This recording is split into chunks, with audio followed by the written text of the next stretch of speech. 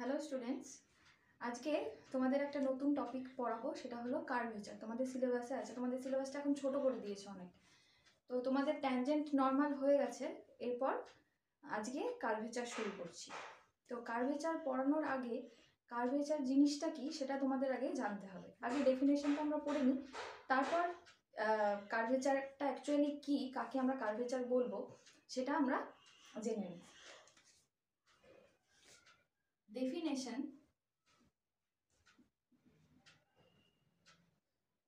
The amount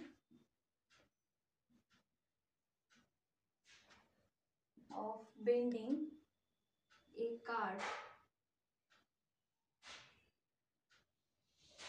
at a given point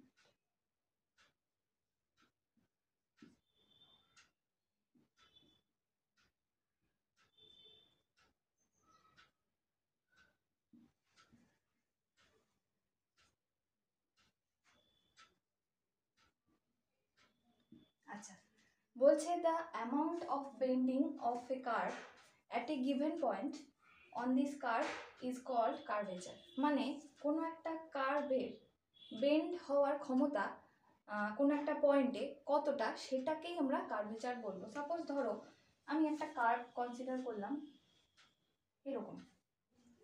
এই কার্ভটার bend হওয়ার ক্ষমতা, এই কার্ভটার বেন্ড হওয়ার ক্ষমতার থেকে কিন্তু কম। তাই তো এই কার্ভটার আমরা দেখতে, এই ছবি দেখে বুঝতে পারছি যে এই কার্ভটার বেন্ডিং এর ক্ষমতাটা সব থেকে তুলনামূলক এটার থেকে বেশি তাই তো তো আমাকে কোনো একটা পয়েন্টে এই পয়েন্টে এই কার্ভ ধরো সাপোজ পি একটা পয়েন্ট দেওয়া আছে, এই পয়েন্টটার মধ্যে এই কার্ভের যে বেন্ডিং এর প্রবণতা বেন্ডিং এর ক্ষমতা, সেই ক্ষমতাটাকে, সেই অ্যামাউন্টটাকে আমরা কি বলব? কার্ভেচার বলব। তাহলে এখানে একটা জিনিস দেখো এখানে যদি আমি সাপোজ দুটো পয়েন্ট খুব কাছাকাছি একটা কার্ভের যদি দুটো পয়েন্ট নিই আমরা পি অ্যান্ড কিউ সাপোজ দুটো একটা খুব কাছাকাছি পয়েন্ট নিলাম এবং সেই দুটো পয়েন্টের কার্ভের বেন্ড হওয়ার যে প্রবণতা, সেটাকে নিয়ে যদি আমরা কনসিডার করে যদি আমরা সেই রেসপেক্টেই এগোতে থাকি, তাহলে দেখব আমরা সার্কেল পাবো এবং এই সার্কেলের যে রেডিয়াসটা আমরা পাচ্ছি, সেই রেডিয়াসটাকে আমরা কি বলব? রেডিয়াস অফ কার্ভেচার তাহলে কার্ভেচার পড়তে গেলে আমাদের আরেকটা জিনিস জানতে হবে। কার্ভেচার পড়ার সময় আরেকটা জিনিস উঠে আসবে, যেটা হলো রেডিয়াস অফ কার্ভেচার ঠিক আছে? তাহলে রেডিয়াস যখন আছে, তার মানে আমরা জানব সেন্টার অফ কার্ভেচার তার মানে একটা সেন্টারও থাকবে। তাই তো? সেন্টার অফ কার্ভেচারও থাকবে। এবার সেন্টার অফ কার্ভেচার যখন থাকবে, তাহলে আমরা একটা সার্কেল পাচ্ছি। তাহলে আমাদের তিনটা জিনিস পড়তে হবে কার্ভেচার পড়ার সময়। সেটা হলো ফার্স্টে কার্ভেচার কি, সেই জিনিসটা আমাদের বুঝতে হবে। ফার্স্ট অফ অল কার্ভেচার জানতে হবে। তারপর রেডিয়াস অফ কার্ভেচার জানতে হবে। রেডিয়াস অফ কার্ভেচার তারপর centre of curvature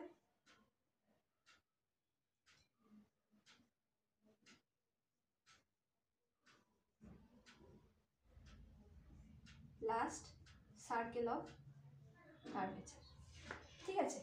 তো এই জিনিসগুলো কি? সেগুলো আমরা পড়ব এবং এর ফর্মুলা আছে রেডিয়াস অফ কার্ভেচারের আলাদা ফর্মুলা আছে সেন্টার অফ কার্ভেচারের ফর্মুলা আছে এবং এই দুটো ইউজ করে আমরা একটা সার্কেল অফ কার্ভেচারের ইকুয়েশন পাবো। ঠিক আছে? তো এবার দেখো, একটা জিনিস এখানে দেখো আমি বললাম আমি বললাম যে এই কার্ভটার বেন্ড হওয়ার প্রবণতা, এই কার্ভটার বেন্ড হওয়ার প্রবণতার থেকে কম, এটাতে বেশি বেন্ড হবে, তাই তো? তো এটার থেকে যে আমি সার্কেলটা পাবো, এই এখান থেকে দুটো পয়েন্টকে দিয়ে আমি যে সার্কেলটা পাচ্ছি, এই সার্কেলের যে রেডিয়াসটা থাকবে রেডিয়াস অফ কার্ভেচারকে আমরা রো দিয়ে ডিনোট করি। আর এখান থেকে যেইটা পাচ্ছি, যেই সার্কেলটা পাচ্ছি সাপোজ এটা রো ওয়ান, এটা রো টু। সবসময় যার বেন্ড হওয়ার প্রবণতা কম, তার রেডিয়াস অফ কার্ভেচার বেশি হবে। তার মানে আমার কাছে rho one is greater than rho two হবে। ঠিক আছে? এটা সবসময় মাথায় রাখবে যে কার্ভেচার আর রেডিয়াস অফ কার্ভেচার দুটো।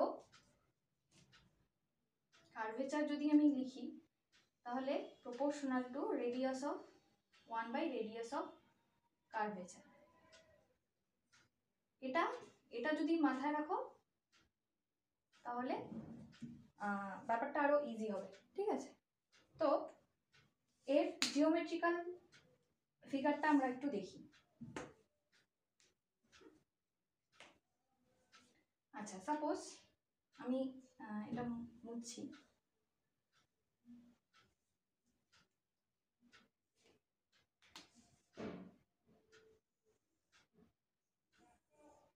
আমি একটা কার্ভ নিলাম।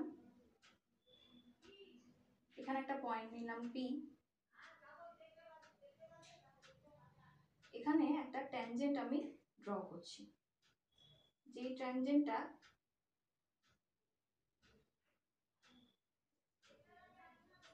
এটা পি যেটা এক্স অ্যাক্সিসের সাথে সাই অ্যাঙ্গেল করে আছে। ওকে এবার দেখো, এখানে আমি আরেকটা পি এর খুব কাছাকাছি আরেকটা পয়েন্ট নিচ্ছি, সেটা কিউ আর এই কার্ভটা আমি এখানে এপি কিউ দিয়ে ডিনোট করছি। এখানে আরেকটা ট্যানজেন্ট ড্র করছি। এই ট্যানজেন্টটা আমার এক্স অ্যাক্সিসকে সাই প্লাস ডেল সাই অ্যাঙ্গেলে কাট করছে। এই গেল আমার পি আর কিউ খুব কাছাকাছি দুটো পয়েন্ট আমি কনসিডার করেছি। পি আর কিউ পয়েন্ট দুটোতে আলাদা আলাদা ট্যানজেন্ট ড্র করলাম, যেটা কিনা এক্স অ্যাক্সিসকে সাই আর সাই প্লাস ডেল সাই অ্যাঙ্গেলে কাট করছে। এবার পি যে পয়েন্টটা এই পয়েন্টে যদি আমি একটা নর্মাল ড্র করি, তাহলে ট্যানজেন্টের পারপেন্ডিকুলার যে লাইনটা সেটাকে আমরা নর্মাল বলি। তাহলে এটা আমার গেল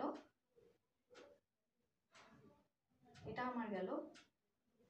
যদি আমি নাম দিই এন ড্যাশ যদি নাম দিই বা এন ওয়ান যদি নাম দিই, তাহলে এই লাইনটা গেল আমার নর্মাল যেটা কিনা পি পয়েন্টে আছে।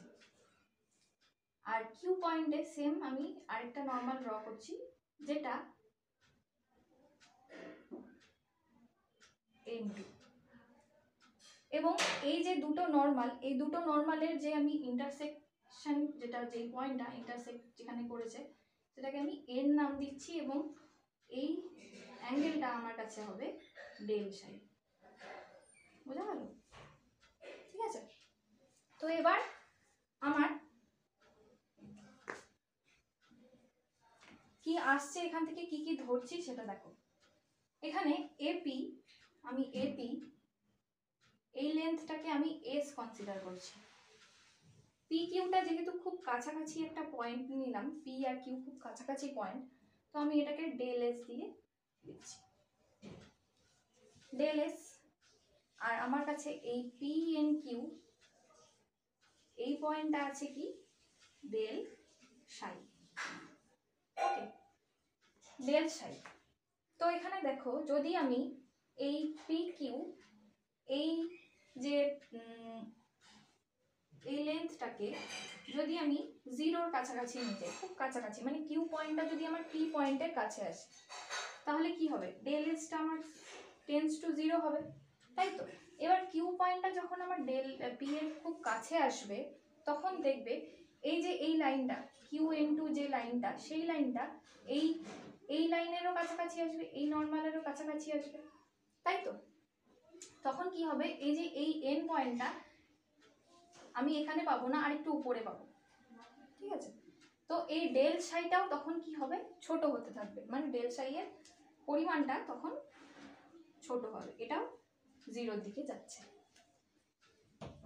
এরকম একটা কেসে যদি আমি limit del psi del S tends to zero del psi by del S নিই এই যে এই ফিগারটা এই ফিগারটাকে আমরা লিমিটেড ডেফিনেশন ওয়াইজ কি লিখতে পারি? ডেল সাই ডেল তাই কি না? এটাকেই আমরা কি বলব? কার্ভেচার বলব। ঠিক আছে? এই কার্ভেচারটাকে যদি আমি উল্টে দিই মানে ওয়ান বাই কার্ভেচার যখন করব, সেটা আমার কার সমান চলে আসবে? সেটা আমার চলে আসবে radius of radius of curvature এখানে একটা জিনিস দেখো, আমি কিন্তু এই পি পয়েন্টেই এই কার্ভেচারটা লিখছি। ঠিক আছে? যদি আমার অন্য অন্য পয়েন্ট আমি এখানে কনসিডার করি, তাহলে কিন্তু আমার কার্ভেচারগুলোও কিন্তু আলাদা আলাদা হতে থাকবে। ঠিক আছে? তার তার মানে এটা মাথায় রেখো যে একটা কার্ভে যদি আমি আলাদা আলাদা পয়েন্টে কার্ভেচার নিই, সেটা কিন্তু আলাদা আলাদা হবে। যদি কনস্ট্যান্ট হয়, তাহলে আমি সেটা বলতে পারব, সেখান থেকে বলতে পারব যে ওই যে ওই পয়েন্টগুলো ওই পয়েন্টগুলোর যে যদি আমি যোগ করি পয়েন্টগুলোর পাথকে তাহলে সেটা কি হবে আমার কাছে? সার্কেল আমি পাচ্ছি সার্কেল অফ কার্ভেচার হয়ে যাবে। এটা একটু মাথায় রাখবে।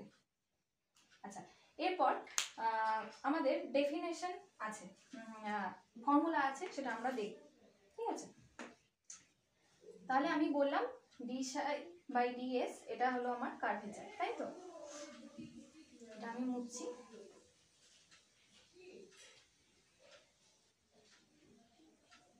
এবার কিছু ফর্মুলা আমাদের দেখতে হবে।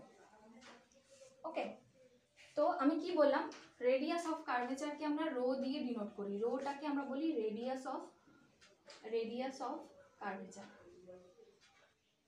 radius of curvature এবার এর ফর্মুলাটা কি সেটা আমরা জানব।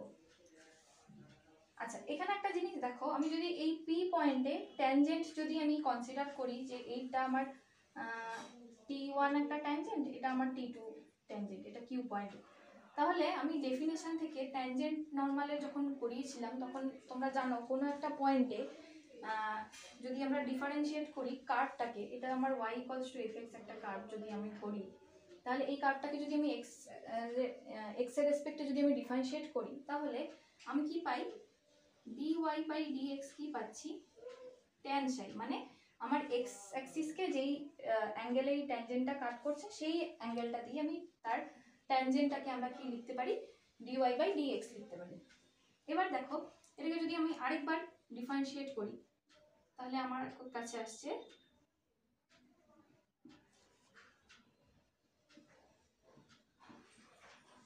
এরকম আসছে। তাই তো? এবার এটাকে দেখো, আমরা কি লিখতে পারি?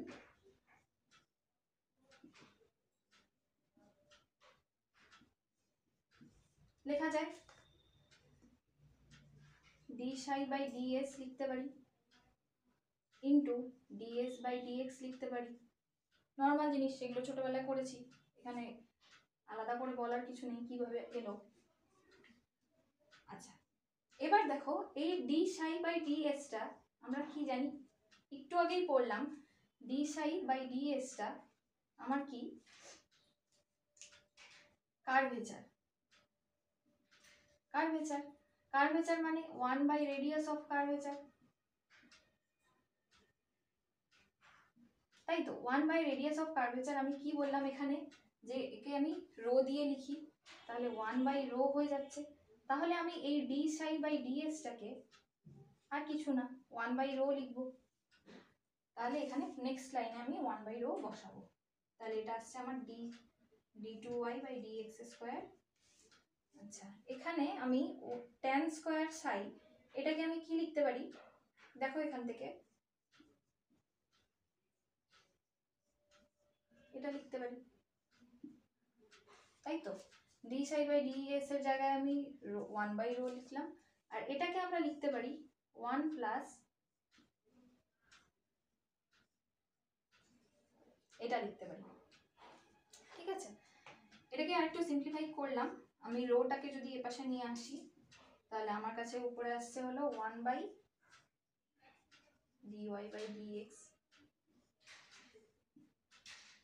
three by two এই রুট আর এখানে এটা মিলে থ্রি বাই টু হয়ে যাচ্ছে power R D two Y by D X square তার মানে আমি এখানে রোটা পাচ্ছি, আমার যে রেডিয়াস অফ কার্ভেচার সেই কার্ভেচারটাকে আমরা পাচ্ছি এই ফর্মুলা ওয়াইজ যদি আমরা, আমাদের কাছে কোনো কার্ভ দেওয়া থাকে, তাহলে আমাকে ফার্স্টে কি বের করতে হবে? সেই কার্ভটার এক্স অ্যাক্সিসের রেসপেক্টে এক্সের রেসপেক্টে আমাকে কি করতে হবে?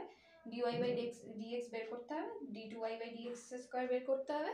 তারপর যেই পয়েন্টটা দেওয়া থাকবে, সেই পয়েন্টের কথা বলছি, সেই পয়েন্টে বের করে তারপর এই ফর্মুলায় বসিয়ে দিলেই আমার কি পাচ্ছি আমি? এই রোটা পাচ্ছি। ঠিক আছে?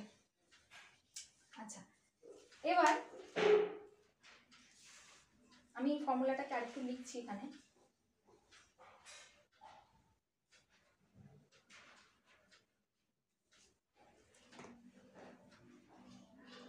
তাহলে দেখো, আমরা পাচ্ছি কি?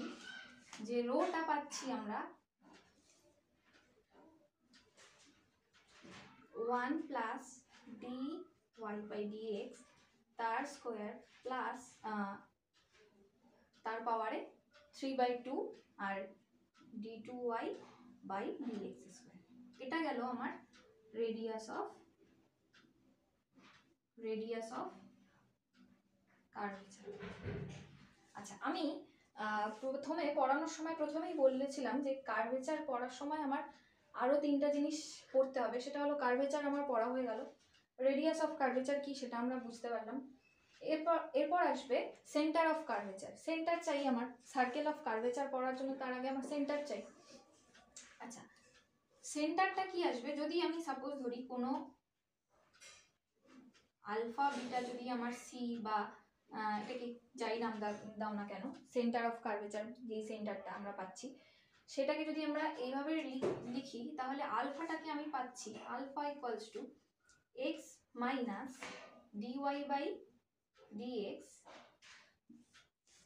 one plus DY by DX তার square by D two Y by DX square এটা পাচ্ছি। আর বিটাটা কি পাচ্ছি? Y plus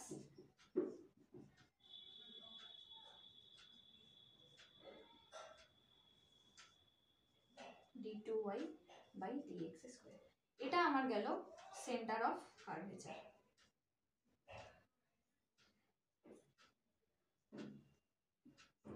curvature alpha beta তাহলে দেখো, আমরা ছোটবেলায় সার্কেলের যখন ইকুয়েশন পড়েছিলাম জেনারেল ফর্ম পড়েছিলাম এক্স মাইনাস সাপোজ এটা যদি আমি সেন্টার ধরি কোন একটা centre X minus X one যদি ওর সেন্টারটা থাকে এক্স ওয়ান ওয়াই ওয়ান যদি আমি সেন্টার ধরি, আর যদি আর ধরি ওর রেডিয়াসটা তাহলে আমি সার্কেলের ইকুয়েশন পেতাম এভাবে, তাই তো?